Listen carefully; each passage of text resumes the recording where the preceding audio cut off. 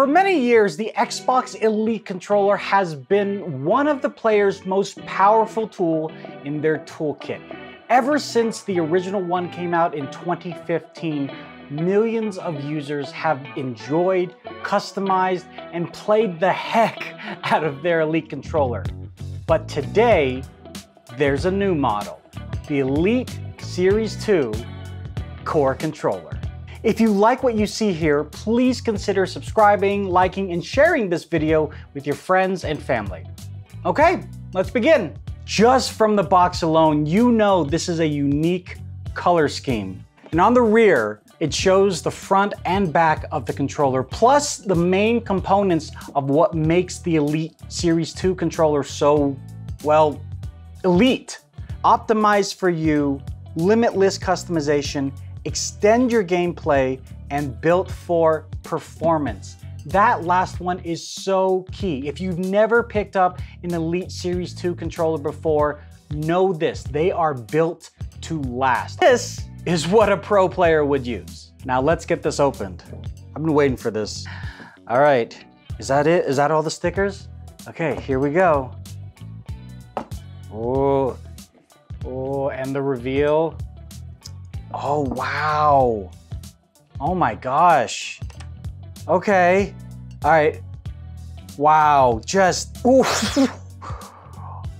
I'm speechless how mm, this pops so well. Awesome doesn't even cover it one bit.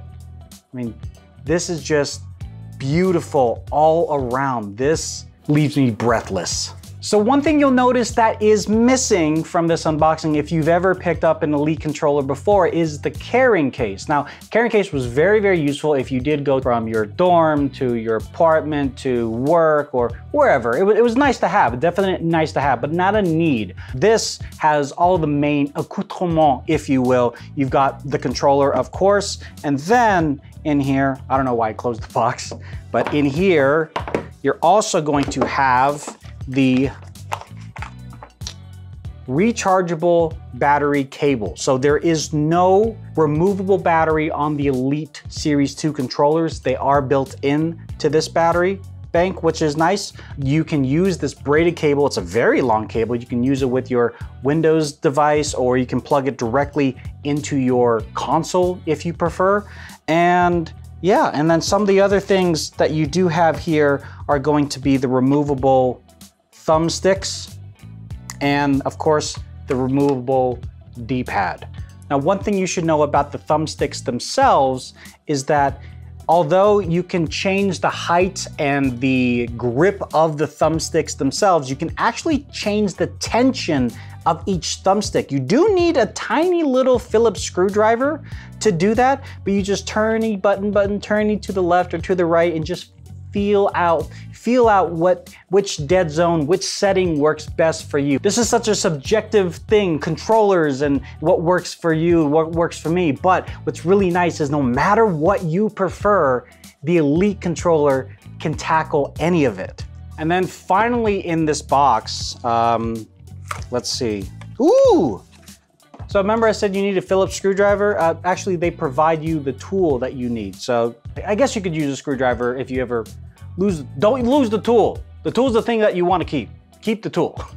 Now that we've got everything else in the box out of the way, let's go ahead and take a look at this controller. I mean, look how the black grips complement the white body. The silver touches of the hybrid D-pad, the just the rear paddles that you can put on here. It's just a gorgeous accent.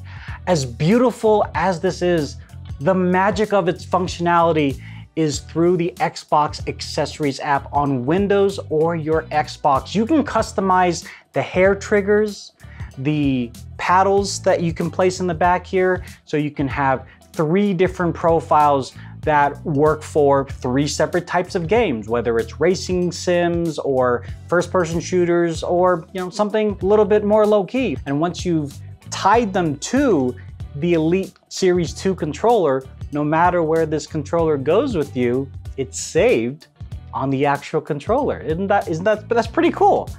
The only thing that this controller is missing is that share button, but it does have a button that allows you to cycle through the different three profiles that you would have saved to the actual hardware. And let's not forget, this controller not only works on Windows devices and your Xbox, but it can also work on mobile devices over Bluetooth, like iOS and Android. And yes, if you still have an older Xbox One, you can use the newest model core controller. I won't lie, using the rear paddles do take getting used to, but it is worth it. No more fumbling your thumbs, taking fractions of a second off to perform a combo, and overall, just really, really, really enjoy the high-end look and feeling of this solid controller.